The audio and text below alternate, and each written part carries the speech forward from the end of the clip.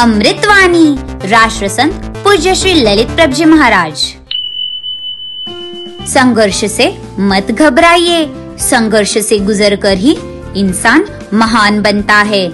आखिर बिना छेनी हथौड़े से गुजरे कोई पत्थर भी भगवान नहीं बनता है।